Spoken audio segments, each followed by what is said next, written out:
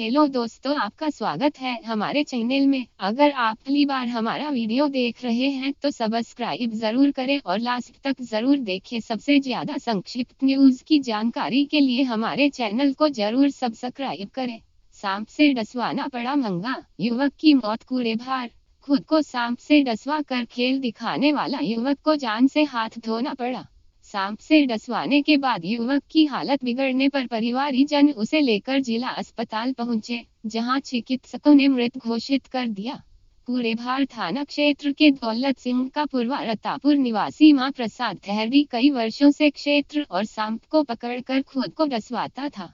धीरे धीरे इस खेल से माँ प्रसाद का क्षेत्र और काफ़ी नाम हो गया था।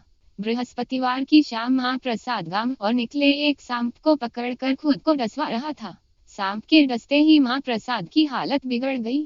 परिवारीजन उसे लेकर जिला अस्पताल पहुँचे, जहाँ चिकित्सकों ने उसे मृत घोषित कर दिया।